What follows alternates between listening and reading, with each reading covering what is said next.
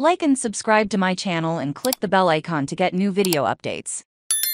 Matthew Perry says he will remove insults to Keanu Reeves in future editions of his book. Matthew Perry not only regrets insulting Keanu Reeves in his new book he's pulling Reeves' name from future issues of Friends, Lovers, and The Big Terrible Thing Perry's memoir about his long battle with substance abuse and addiction. Perry shared news with the makeover at the Los Angeles Times Festival of Books, speaking to a sold-out crowd at USC's Bovard Auditorium on Saturday afternoon, during a panel moderated by Matt Brennan, the Times associate editor of the Times Stupid said, It was a mean thing, Perry said, referring to his lament in the book, that former co-stars River Phoenix and Chris Farley had died while Reeves walked among us. I drew his name because I live on the same street Perry said. I have publicly apologized to him. Any future versions of the book will not feature his name. He said he did not personally apologize to Reeves, but added, when I meet the guys, I'll apologize. It was just stupid. During a candid conversation with Brennan, Perry shared stories that made the audience laugh